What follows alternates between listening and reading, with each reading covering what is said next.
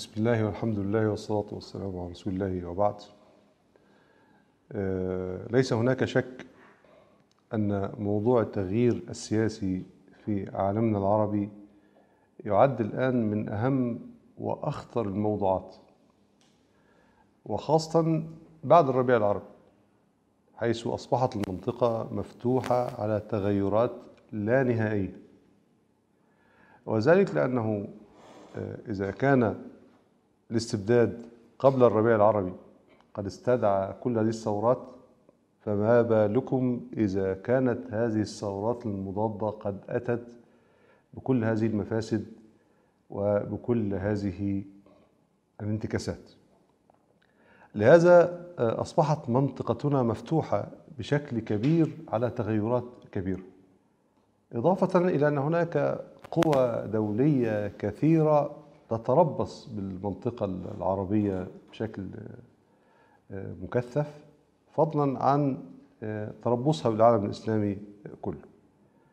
ولهذا يصبح هذا الموضوع من الموضوعات الهامة جدا نظرا لتوقع تغيرات كثيرة في المنطقة في ظل عدم امتلاك آليات للتغيير وترشيد الجهود والحركات في هذا الاتجاه. بداية حتى نتحدث عن موضوع التنظيمات المسلحة التي تعتبر أن وجودها يمكن أن يحقق تغيير سياسي.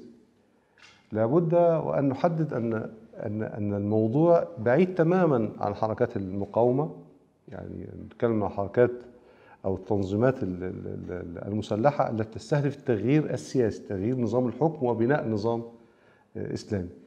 عادة طبعا نفرق بينها وبين التنظيمات التي تعمل لمقاومة المحتل الأجنبي. كما يخرج أيضا عن هذه التنظيمات التنظيمات التي ينبغي ألا تحسب في هذا الإطار وهي التنظيمات المسلحة التي تقوم على سبيل الردع أو الانتقام. يعني ليس لها هدف سياسي. بأي شكل من الأشكال ولا يمكن حسابها في هذا المسار. الملاحظ أن المدقق لخريطة التنظيمات المسلحة على مدى العالم العربي ولو وسعت شوية على مدى العالم الإسلامي يجد أن الخريطة ضخمة جدا. للحركات التي ظهرت والحركات التي اختفت والحركات التي وجدت ولا تزال موجودة وتعمل حتى الآن حجم الحركات والتنظيمات المسلحة في المنطقة العربية والإسلامية كثيرة جدا. ومع ذلك لا تعد هذه الحركات بالنسبة للعقائد والأيديولوجيات هي الأكثر كثافة بالنسبة للعقائد الأخرى إلا أن تسليط الضوء عالميا هو على الحركات التي تتبنى مرجعية إسلامية وذلك لأهداف طبعا سياسية مرتبطة بالنظام الدولي وتحولاته وأهمية منطقتنا وضرورة اختراقها استنادا إلى وجود تنظيمات مسلحة فيها. أهمية التعامل مع هذا الموضوع وتقويمه ودراسته لإعطاء خبرة وإفادة للأجيال التالية ترجع في هذه الدراسة لأسباب عديدة. أولها إن إحنا هنتبنى أو هنتعامل مع القضية المصرية وكيف حدث الصدام في مصر وإلى أين وصل وكيف تمت مراجعات الجماعة الإسلامية المسؤولة عن 95% من أحداث العمل المسلح في مصر وما هي مراجعاتها ومضمونها وكيف وإلى أين وصلت الآن بعد هذه المراجعات. الحقيقة أن التجربة المصرية هنركز عليها لأن التجربة المصرية يجب أن نلاحظ أن مصر هي مركز التأثير الفكري والثقافي والسياسي والاستراتيجي في المنطقة كلها. وما يحدث في مصر يجد له صدى على مستوى المنطقة كلها. على سبيل المثال لو لو قلنا مثلا أول جماعة تكفير كما قال الدكتور حذيفة ظهرت في العالم العربي ظهرت في مصر ثم بدأت لجماعة شكري مصطفى ثم انتشرت منها الأفكار إلى بقية البلاد. هذا في نهاية الستينات وأوائل السبعينات. فكرة الجهاد المسلح أو التنظيمات الجهادية المسلحة أيضا ترعرعت في مصر في السبعينات وكانت وجدت قبل السبعينات ثم بدأت تنتقل الفكرة إلى كثير من مناطق العالم الإسلامي.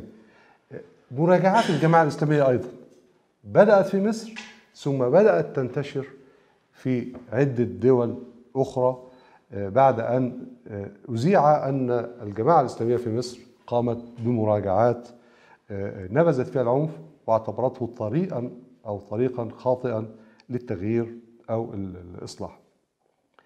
كذلك من أهمية التعامل مع هذا الموضوع هو اتساع دايرة التنظيمات المسلحة وتوافر الظروف التي تنشئها بشكل أكبر.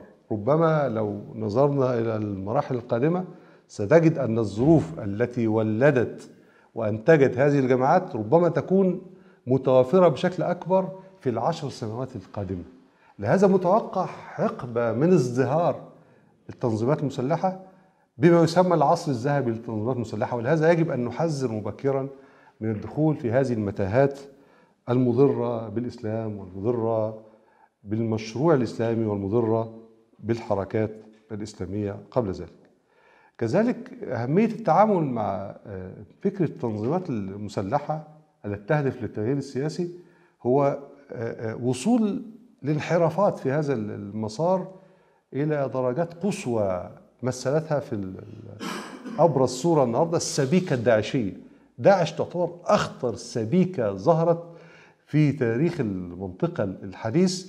تتبنى أو تتصور أنها تتبنى مفاهيما إسلامية للتغيير. هذه الحالة تعتبر درجة خطيرة من درجات الانحراف الفقهي والفكري والعقدي التي يجب أن ننبه إليها لأن مسارات التغيير المسلح بتؤدي إلى هذه النماذج.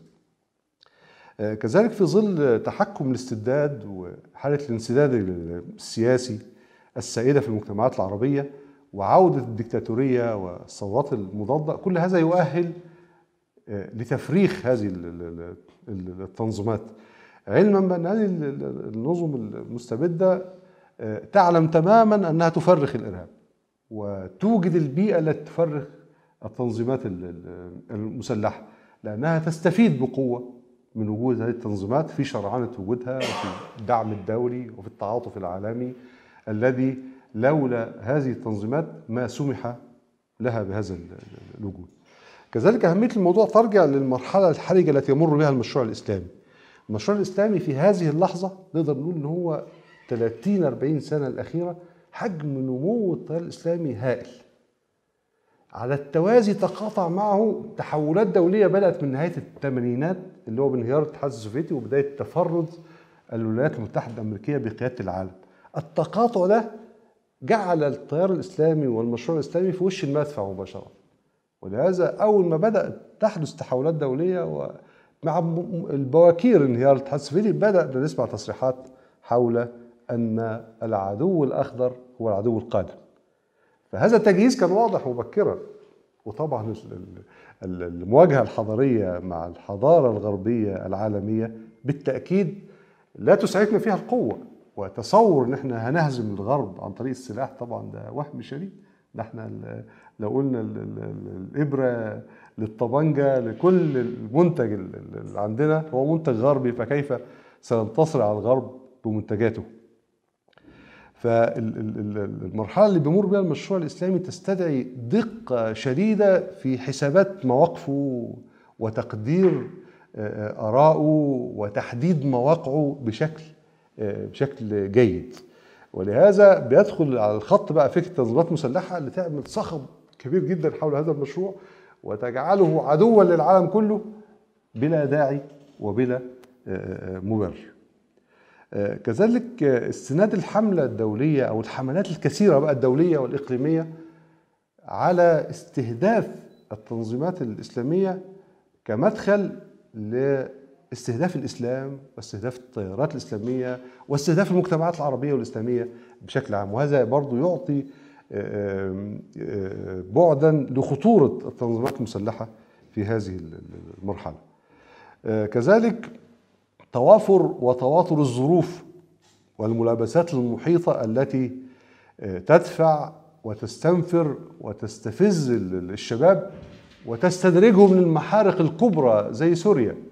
سوريا النهارده لو قلنا محرقة كبرى للشباب الإسلامي في العالم لن تكون مبالغا لأنها جذبت الشباب من كل العالم كله آه، بتخطيط أو بغير تخطيط. أنا أتصور إنه بتخطيط أن توجد بوتقة آه، بهذا الشكل للصراع ال- ال- ال- المفتوح وتفتح إليها المنافذ من كل أرجاء العالم لتكون محرقة مهلكة للشباب الإسلامي بلا أي حسابات وبلا آه، أي داعي. آه، كذلك في هذه المرحلة نحن بحاجة إلى آه، وضع تصور للمشروع الحضاري آه، يضع في هذا في هذه الرؤية أبعاد فكره التسليح أو العسكرة هل المشروع الإسلامي في هذه المرحلة آه، يلزمه التسليح هل التسليح جزء حتى من هذا ال- المشروع؟ أم أنه مضر بالمشروع ككل؟ باعتباره مشروع منقذ للأمة وإخراجها من براسن السيطرة العالمية الثقافية والسياسية والاقتصادية و- والعسكرية والعسكريه أيضا. آه، كذلك حاجة المشروع الإسلامي وهذا مهم جدا لأن يكون بعيدا عن فكرة التنظيمات المسلحة. إلى الاستفادة من عصر السماوات ال- المفتوحة والعصر الذي تحطمت فيه كل الحواجز. القوة الرئيسية لل- للإسلام وللمشروع الإسلامي وللفكر الإسلامي مرتبطة برؤيته للعالم ورؤيته للكون وتصوره لإدارة المجتمعات والعلاقات بينها. يعني مشروع ثقافي فكري عقدي حضاري يبحث عن منفذ لل- لل- لل- للتواصل. فإذا وجد هذا المنفذ تبقى القوة الرئيسية هي قوة الكلمة وقوة الحجة والبيان. أنا أذكر أساتذة الإعلام في مصر في التسعينات الأساتذة الكبار كانوا يبشرون بأننا مقبلين على عصر سيتاح فيه لكل فرد في كل مكان في العالم أن يتواصل مع كل إنسان في العالم وهذا ما بشر به القرآن ولقد وصلنا لهم القول لعلهم يتذكرون. يبقى ينبغي أن يصل العالم لهذه اللحظة. عندما تصل هذه اللحظة يبقى القوة الرئيسية في العالم مش تبقى القوة النووية هتبقى قوة الكلمة قوة الحجة القدرة على الدعوة وتبليغ القول للعالم كله. في ظل هذا الانفتاح العالمي إحنا بنيجي بنغلق وبنحط حواجز وأسوار بيننا وبين العالم أو توضع لنا هذه الحواجز والأسوار لهذا. لو قلت أن هناك مخطط آه، دولي لوضع العالم الإسلامي في هذا الحصار عن طريق تنظيمات آه، تحمل رؤية الإسلام وتدافع عن الإسلام وتحمل السلاح في مواجهة ال- الآخرين لا تكون مبالغا لأن تصور أن تكون هناك مخطط بهذا الشكل يغلق العالم الإسلامي على ما فيه ويمنعه من التواصل مع العالم وتبليغ ال- ال- الحق لل- للعالمين هذا هدف استراتيجي لل- لل- للكثيرين. كما أذكر في هذا المجال جمال حمدان كان في الخمسينات بيتكلم بشكل ذكي جدا حول آه، أن هناك صراعات دولية مقبلة مهمة جدا وخطيرة وهتشكل العالم في ضوءها. وكان بيحذر من أن يكون الخصم للحضاره الغربية في هذه المرحلة أو في المراحل القادمة هو العالم الإسلامي. لماذا لا نترك الصراع يستعر بين القوى الأخرى وتستفيد القوى الإسلامية قوة العالم الإسلامي الهائلة؟ في إعادة ترتيب أوضاعها وبناء أمورها مره أخرى وكان يتصور أن الصراع يمكن أن يكون بين الصين والولايات المتحدة الأمريكية. هذا منذ الخمسينات. لكن طبعا آه، لحسابات أخرى دولية وإقليمية أصبح العالم الإسلامي في وش المدفع آه، منذ مراحل متقدمة إلى أن وصلنا لسبتمبر فأصبح في المواجهه سبتمبر 2001 أصبح الإسلام والعالم الإسلامي والطريقة الإسلامية في المواجهه وفتحت كل أنواع ال- ال- ماكينات التشويه في العالم كله لتستهدف الإسلام آه، بشكل لم يحدث من قبل منذ آه، سبتمبر. آه، لو أردنا أن ننظر كما ذكرت لحضراتكم خريطه التنظيمات المسلحة في العالم الإسلامي وهذه كان ممكن يكون لها دراسة آه، مهمة تجدها حجم الانتشار كبير وتجد ليه هنا يعني من خلال النظره السطحيه ليه هنا بتنشأ جماعات مسلحة؟ ليه هنا بتقل الجماعات المسلحة؟ ليه هنا بتتطرف وتبلغ إلى حدود قصوى؟ آه، هذه ال- ال- ال- الرؤيه على الخريطة بس تديك انطباع آه، لماذا آه، تنشأ هذه التنظيمات وتستعر في هذه ال- ال- المناطق.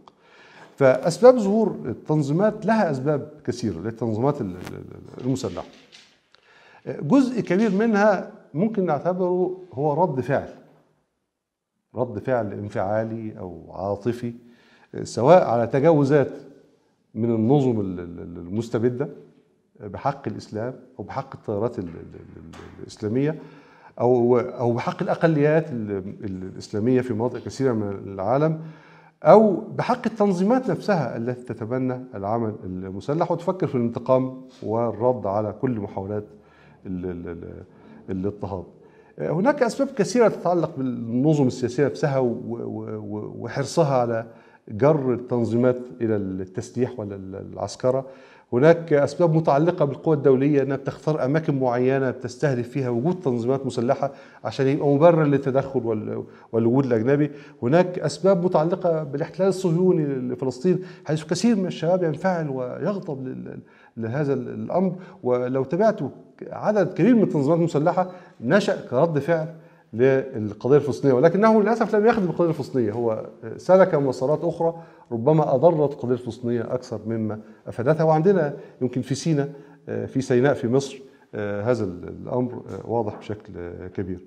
هناك أسباب فكرية وأسباب ثقافية وأسباب مرتبطة بالعمر وأسباب مرتبطة بقلة الوعي السياسي ونظرته. الخلاصة أن التنظيمات المسلحة تبدأ بقرار سياسي ثم تبحث له عن شرعيه يعني هو مش بنبدأ التنظيم الأول بمشروعية العمل ثم يتخذ قرار. لا تجد القرار السياسي بيسبق الشرعيه فتجد القرار يتخذ الأول كرد فعل على ما يجري ثم بعد ذلك يتم التأصيل.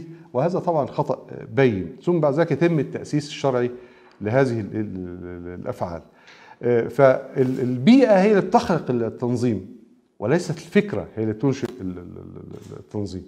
ووجودها كرد فعل وجود تنظيمات مسلحة في الغالب كرد فعل يعني أنها لا تنطلق من مشروع. يعني مفيش عقل حاضر ورؤية متكاملة بتبنى وتخطط ويتم تنفيذها في الواقع. لا هو انفعال ورد فعل ثم بعد ذلك يبحث عن الخطط. وهذا طبعا جوانب قصور شديدة وتؤكد ان أنه ليس هناك تصور لأن تنجز هذه التنظيمات اهدافا كبرى. كذلك تجعلها محلا للتلاعب. يعني الراجل بيتحرك من غير رؤية ده بيبقى محل مصيدة لأجهزة المخابرات والقوى الدولية. يجيبوا كده ويجيبوا كده ويوجهوا كما يرى راجل ما عندوش مشروع ما عندوش رؤية ليس لديه خطة يمكن التلاعب به وتحريكه كما يريدون. كما أن التحرك رد فعل يبقي التنظيم في خندق الدفاع دايما. وغير متصور بالتأكيد إن التنظيم عايش في خندق الدفاع أن يحقق هدف وبناء عليه من باب أولى أن لم يكن قد نشأ التنظيم إذا لم يكن قادرا على تحقيق أي أهداف. هناك أخطاء عامة تغلب على كثير من التنظيمات المسلحة. تبدأ من الأخطاء الاعتقادية وهذه تجدها بشكل واضح في التوسع في التكفير. صحيح أن المشروع التغييري أو المشروع الجهادي في مصر نشأ خصما لقضية التكفير ولكنه استدرج رويدا رويدا إلى الواقع بكامله في التكفير. يعني المناظرات الأولى في مصر التي جرت بين مؤسسي المشروع الجهادي في مصر وبين القيادة العامة لجماعة التكفير والهجرة اللي هو شكري مصطفى مناظرة هزم فيها القيادي الجهادي القيادي التكفيري هزيمة ساحقة رغم أن شكري مصطفى كان يتميز بعقلية يعني واعدة قدرة عالية على التنظير قدرة فائقة في المناظرات. ومع ذلك استطاع حسن الهلاوي اللي كان منظر جهادي في هذه المرحلة أن يهزم شكري مصطفى هزيمة كبرى لدرجة أن جماعة التكفير والهجرة لم تجد وسيلة للدفاع عن فكرتها أنهم حاولوا يغتالوا حسن الهلاوي وبالفعل مزقوه إرما هو وأمه وإخوته وتركوهم بين الحياة والموت ولكن قدر لهم أن يحيوا بعد ذلك. الأخطاء الفقهية أيضا كثيرة حيث يقوم أو تقوم فكرة التغيير المسلح على فكرة التغيير الفوقي بمعنى أن أنا هشيل الحكومة وأحط حكومة أخرى. لو حبينا نسند إسلاميا أساسا فقهيا لهذا التفكير نجد طبعا بيتغاضى عن أمور كثيرة فكرة ولاية الجبر والإكراه وفرض السلطة على الناس بالقوة هذا أمر طبعا ليس له آه، أسس آه، إسلامية بل لابد أن تقوم الولاية والسلطة على الاختيار وعلى الرضا ولا يمكن أن نتصور أن فكرة فرض سلطة آه، على قوم من أما قوما وهم له كارهون أن هذا يمكن أن يكون له سند إسلامي. الخطأ في تنزيل الأحكام ربما أخطر الأخطاء في ذلك هو فتوى تنزيل فتوى الإمام ابن تيمية بخصوص قتال الطائفة الممتنعة عن شعيرة من شعائر الإسلام. هذه استخدمت بشكل خطير جدا في قتال الحكومات والمؤسسات و والدول بشكل بشكل مفتوح بينما الفتوى اللي يدرسها بشكل متعمق يجد أنها بعيدة تماما عن هذا التنزيل واستندت عليها كثير من التنظيمات المسلحه في العالم العربي والاسلامي يعني الفتوى بتتكلم عن آه، إمام ممكن وخرجت طائفه أو امتنعت طائفه في حوزته عن التزام الشريعة من شرائع الإسلام. فالإمام يأمرها وينهاها إلى أن يصل معها القتال. أما العكس فالجماعات الآن أو التنظيم هو الطائفة. وهناك دولة يعني يتم تنزيل حكم الطائفة على حكم الدولة وحكم الدولة على حكم الطائفه قليله العدد وهي تنظيم مسلح أنها تجابه الدولة وتلزمها بشعائر الإسلام. آه، كذلك الخطأ في استباحة الدماء الذي يبدأ من الحكومات أو رأس رؤوس الدول ثم يمتد للمؤسسات وخاصة الجيوش والشرطة ثم يمتد إلى غير المسلمين داخل المجتمع ثم يمتد للمدنيين الأجانب سواء كانوا سياح أو أو تجار ثم يمتد إلى أن يجوب العالم كله كما رأينا في تنظيم القاعدة الذي استباح العالم كله وداعش في الفترات الأخيرة. أصبحت كل العالم بالنسبة له دار حرب يجب فيها القتال ولا يعتبر بأي شكل من أشكال الأمان ولا حرمة لأي مدنيين داخل هذه المجتمعات. هناك أيضا أخطاء سياسية جسيمة تقع فيها هذه التنظيمات. تبدأ من استعداء الحكومات يعني مجموعات وليدة وتنظيمات صغيرة تسعى يجب أن تسعى لإقناع الناس بالحجة والبرهان والدليل. تستعدي اول ما تستعديه تستعديه الحكومات.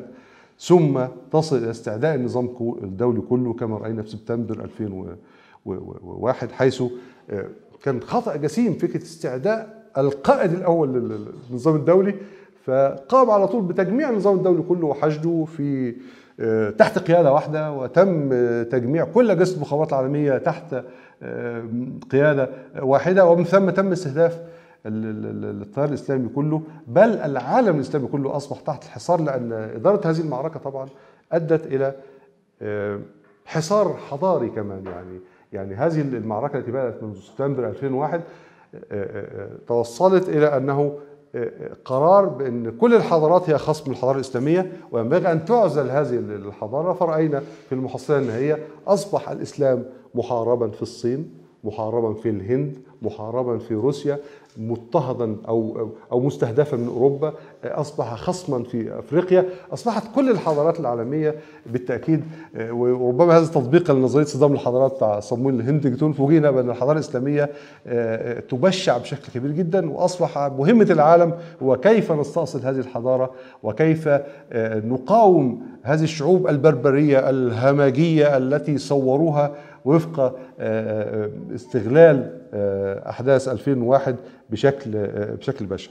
هناك أخطاء استراتيجية يمكن أن نقول هناك تبدأ بالخلط في فكرة أو في بناء التنظيم المسلح الخلط بين حركات التحرر الوطني التي كانت قائمة في منطقتنا في مواجهة الاستعمار قبل التحرر وبين حركات التغيير السياسي طبعا هذه لها آه، صورة وبناء وأساليب وأدوات وهذه أيضا لها تشكيل وبناء وأساليب وأدوات.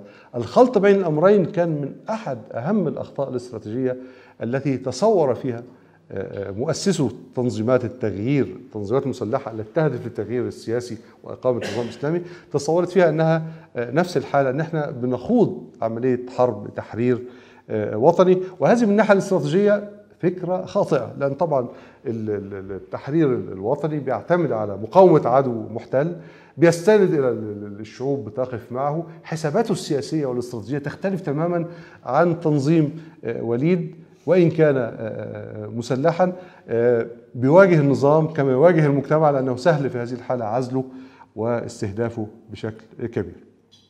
كذلك من الأخطاء الاستراتيجية التي تقع فيها التنظيمات المسلحة والاستجابة لمخططات الاستدراج وأفخاخ أيضا الاستدراج. بمعنى أنه يسهل جدا استدراج هذه التنظيمات من خلال قليل من المجهود وهذه شاهدناها في عدة دول منها مصر. تجربة الجماعة الإسلامية بامتياز هي تجربة استدراج. الجماعة الإسلامية في مصر جماعة آه، فتية عندها حجة ومنطق في خلال ثلاث سنوات ملأت كل شوارع مصر دعوة وحجة وانتشار وصلت إلى أسوان إلى رفح إلى العريش. قال لك لا ما ينفعش تسيبها بهذا الشكل. لابد أن تقضي عليها. ما هو مبرر القضاء على جماعة مدنية سلمية؟ ما فيش مبرر غير إنك تجرها لفخ الصدام. طب جماعة شابة آه، آه، سياسية آه، دعوية ثورية بهذا السلمية بهذا الشكل كيف تستدرجها؟ على طول استفزاز مستمر بالاعتقال بالتعذيب بالاضطهاد بالتضييق. على طول الشاب لا يعرف غير إنه لازم يرد. وخاصة إذا وصل للقتل ده بدأ يقتل. لا هيقتل لازم هقتل أنا كمان. فتجربة الجماعة الإسلامية دي تجربة استدراج. استدراج للعمل المسلح خوفا من العمل السلمي والدعوي والانتشار السياسي التي وصلت فيه الجماعة الإسلامية إلى آفاق كثيرة في ثلاث سنوات فقط من 84 إلى 7 و80 ولهذا زكي بدري في رأيي وزير الداخلية في هذا التوقيت جاء لهذه المهمة ونجح نجاحا كبيرا. وأعلن منذ البداية أنني سأضرب في سويداء القلب وإلى أن وصل وصلوا في النهاية لاغتيال المتحدث الرسمي باسم الجماعة الإسلامية فخلاص لم يكن أمام الجماعة الإسلامية سوى الصبر واضطرت بالتأكيد للدخول في معترك الاستنزاف التي خسرت فيه كثيرا. ولو لم تكن دخلت في هذا المعترك لكان لها شأن كبير الآن. آه، كذلك آه، التنظيمات المسلحة تضع الأمة في موقع الاستهداف الدولي والحضاري. كما رأينا وذكرت في تنظيم القاعدة. كذلك آه، تعرض الأمة وأهم قضاياها للاستهداف الدولي بوضع الحركات المقاومة المسلحة في موضع الحركات الإرهابية. وهذه رأيناها في حركات الفلسطينية بالذات. كانت فرصة حينما استعرت معركة الإرهاب دوليا قال لك حط لي بقى الحركات الإسلامية الموجودة في فلسطين بالذات. هذه أكبر خدمة للعدو الصهيوني أن يتم اعتبار الحركات الفلسطينية حركات إرهابية استنادا إلى أن كل الإسلاميين إرهابيين ودخولا بقى إلى كشمير وكل القضايا التي لها أسانيد وفق القانون الدولي دخلوا عليها واعتبروها حركات إرهابية رغم أنها دوليا لا يمكن اعتبارها حركات إرهابية بحال من الأحوال. آه، كذلك آه، من الأخطاء الاستراتيجية في رأيي هو تجربة السودان. هذا خطأ وإن كان هنا مش تنظيم مسلح هنا فكرة انقلاب عسكري. ينبغي ألا يوصم التيار الإسلامي بأنه وصل للحكم عن طريق انقلاب عسكري.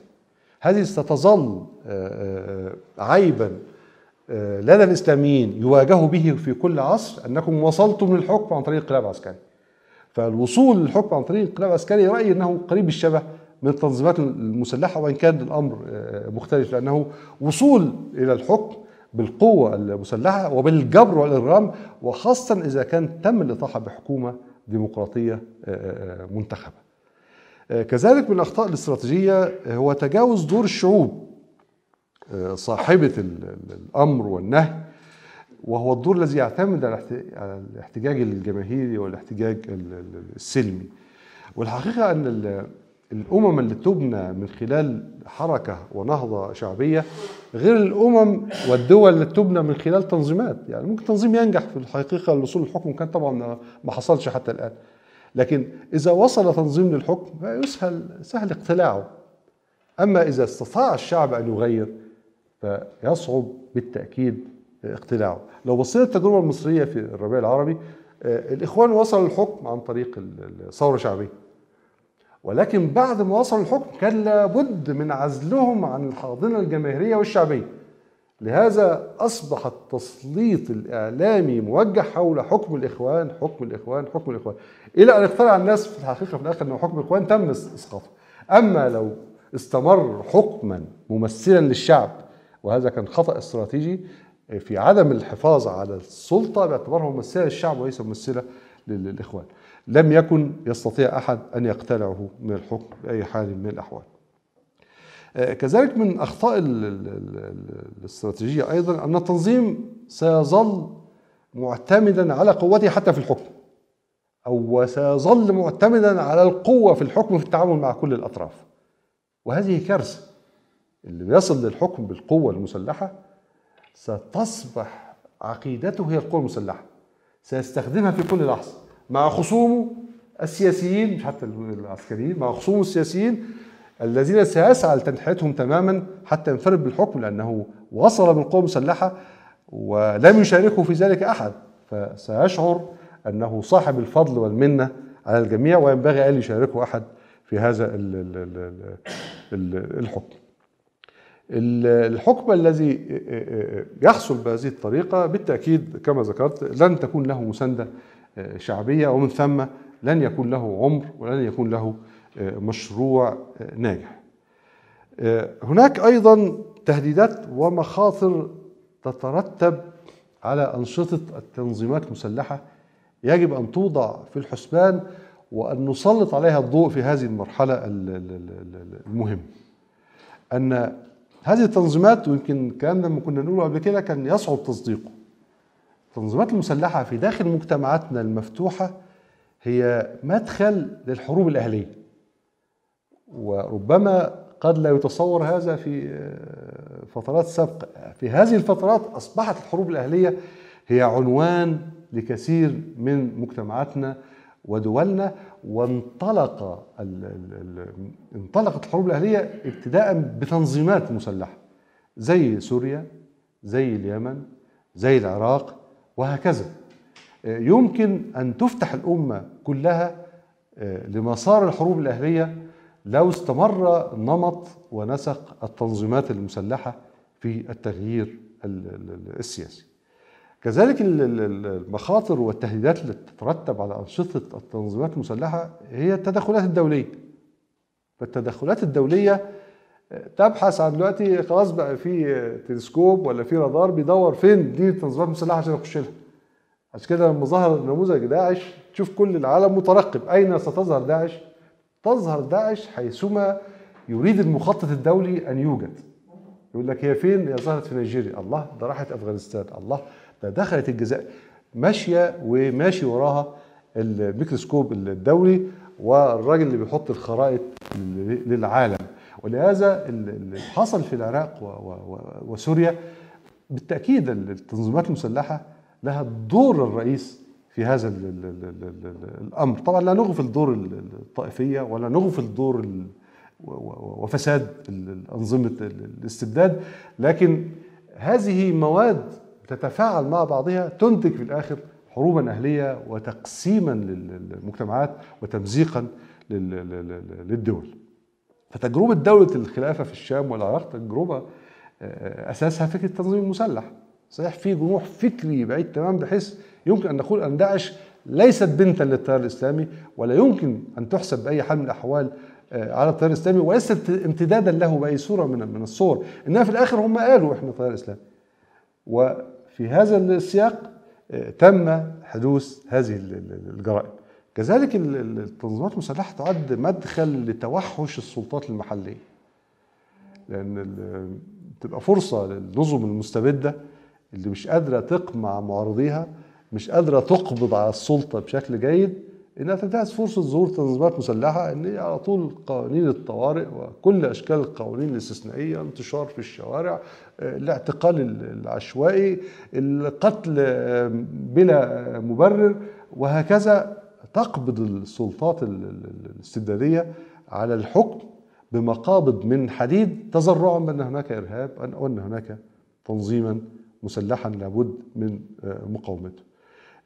كذلك النظم المستبدة بتلعبها برضه بذكاء.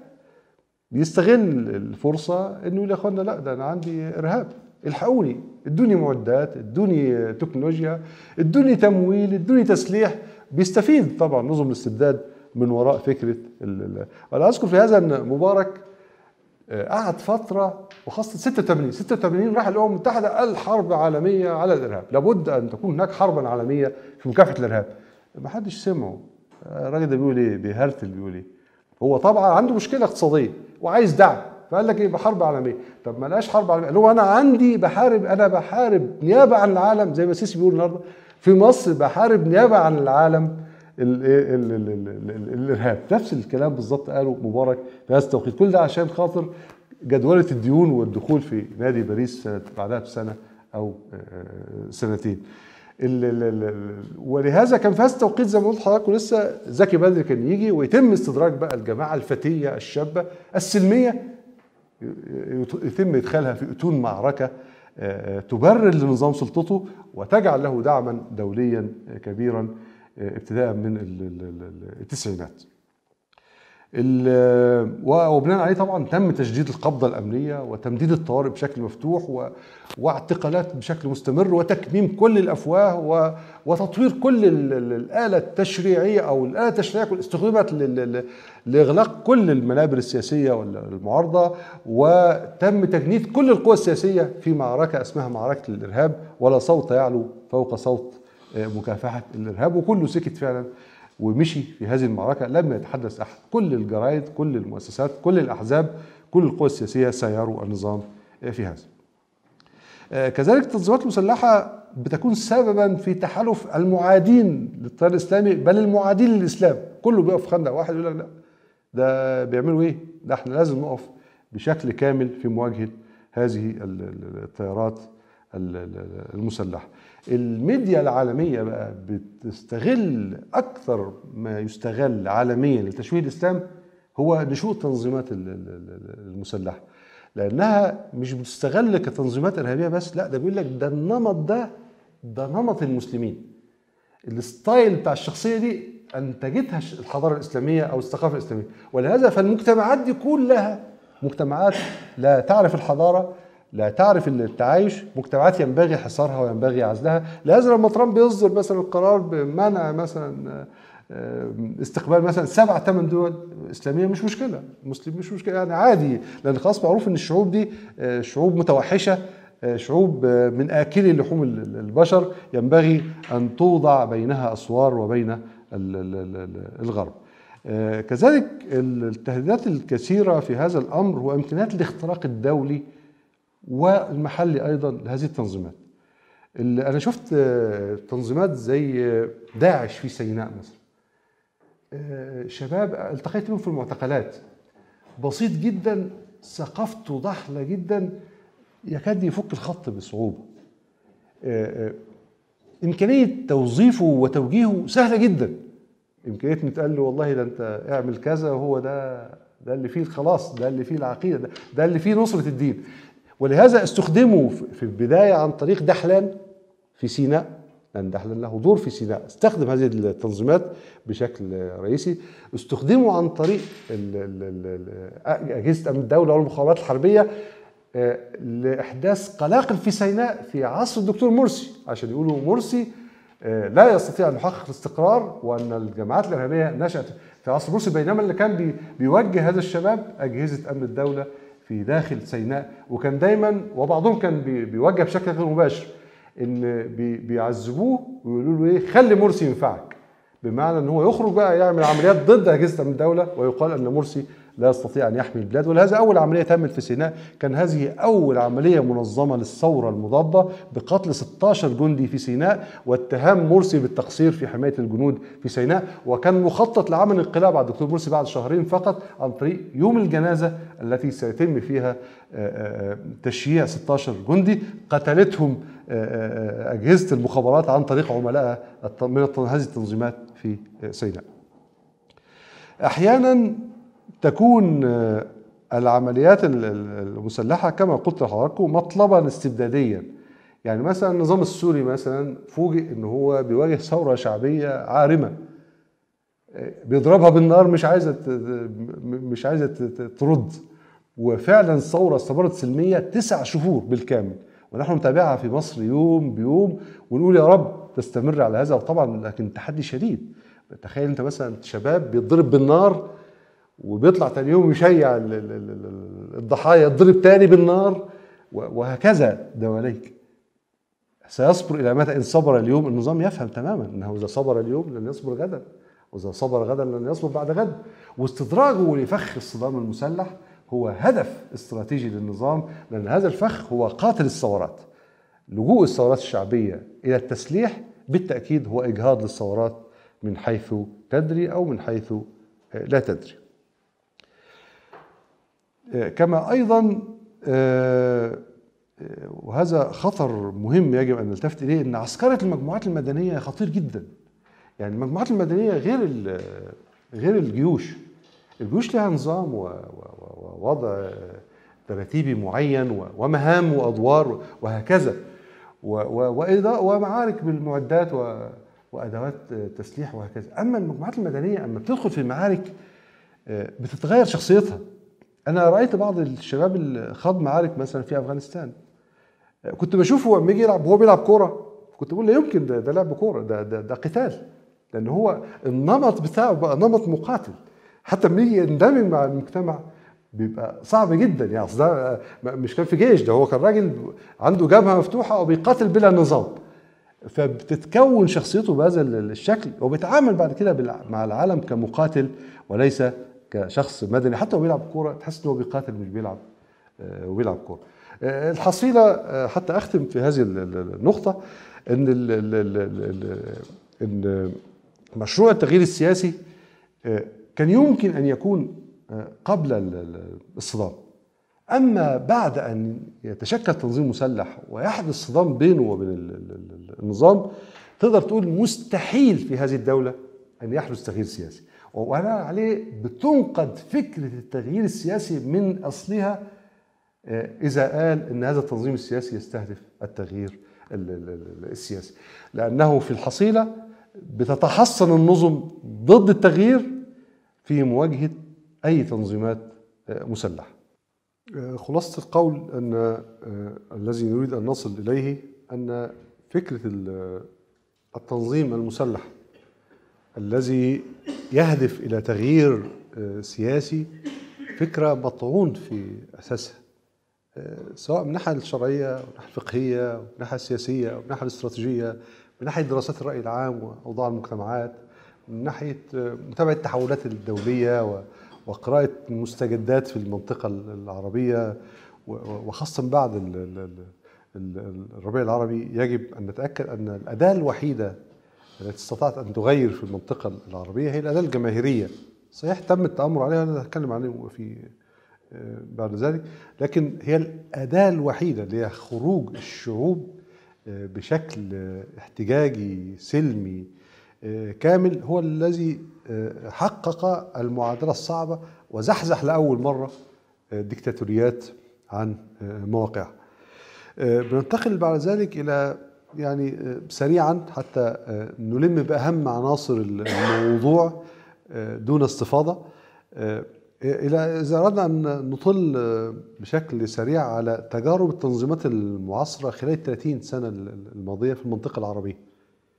يعني حد يشاور لي كده على تجربة تنظيم مسلح نجح في تحقيق الهدف السياسي وهو تغيير النظام وإقامة نظام آخر. أيا كان هذا النظام الآخر شكله وطبيعته. بأن ال- حتى لا نظلم ال- التجربة الإسلامية أيضا اليساريين أيضا تبنوا نفس الفكرة فكرة تنظيم مسلح للتغيير أيضا أخفقوا تماما في هذا ال- ال- ال- المجال. نجد التجارب اللي عندنا الموجودة عندنا التجربة المصرية لم تصل آه، إلى أي تغيير.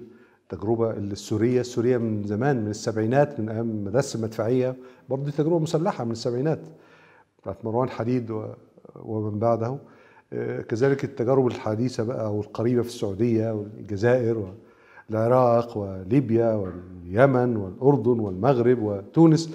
كل التجارب المسلحة في هذه الدول وفي غيرها لم يستطع فيها التنظيم أن يزحزح الحكم أو أن يحقق حتى بعض الإصلاحات السياسية. آه، باعتبار أن إحنا بنقيم التنظيم العسكري أو المسلح الذي يستهدف تغييرا سياسيا. لم يحقق أي آه، تغيير أو إصلاح سياسي. طيب أما لماذا فشلت بقى التنظيمات المسلحة في تحقيق أهدافها؟ هذا سنمر عليه آه، سريعا. تبدأ اولا بعدم تكافؤ القوة في ظل سيادة نمط سيطرة الجيوش الحديثة الكبيرة على الحكم. ما يجعلنا نرى فكرة تنظيم مسلح دي فكرة خيال علمي أو أو أو, عملية انتحارية يعني تشبه بهذا الشكل التنظيم بهذه الكفاءة وهذه القوة يستطيع أن يغير نظام سياسي له هذه الجيوش وهذه المعدات وهذه الميكانيزمات غير الدعم الدولي الذي يجب أن يكون منظورا في هذه التجارب.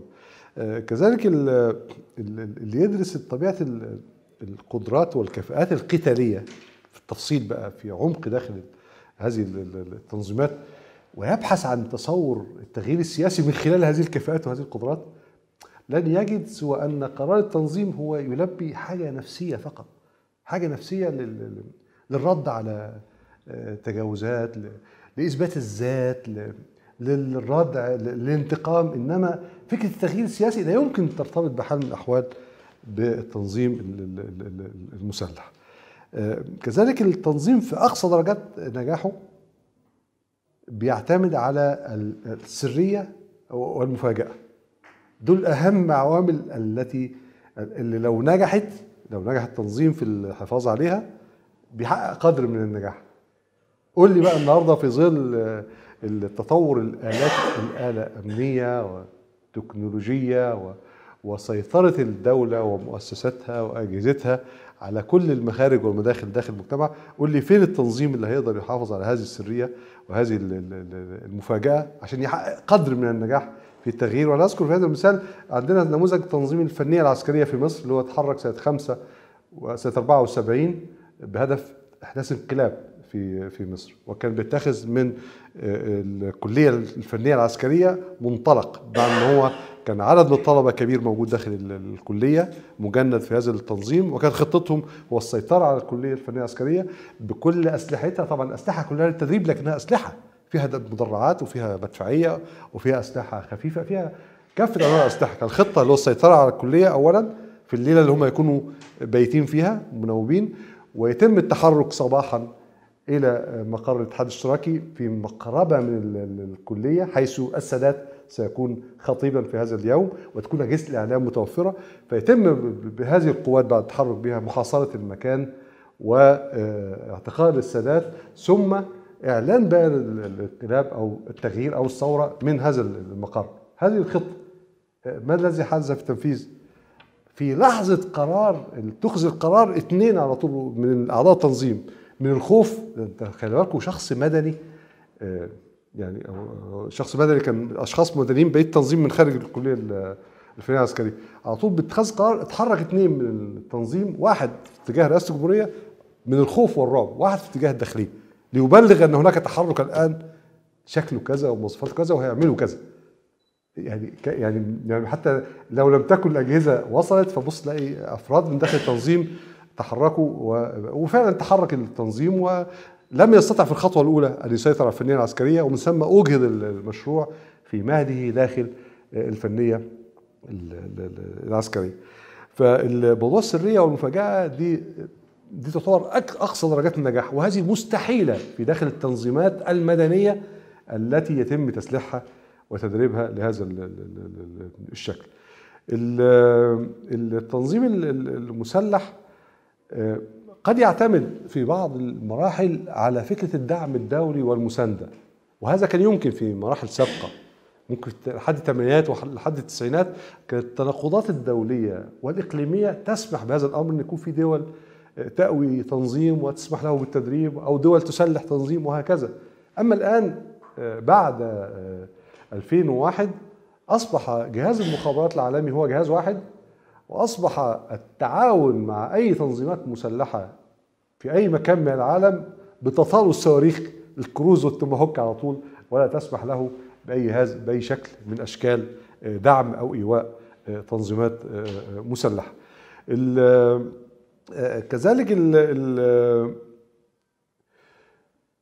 ال- ال- افتقاد التنظيمات المسلحة للسند الشعبي يجب أن نتصور أن أي حد بيفكر في تغيير سياسي البديهيات والأساسيات كيف سيسند هذا التغيير شعبيا؟ التنظيم المسلح بيفقد أول ما يفقد عند أول طلقة يفقد مسدس الشعبية لأن أول ما بيتحرك بإطلاق النار أو بالتحرك المسلح الشعب يقول لك أنا دي مش معركتي.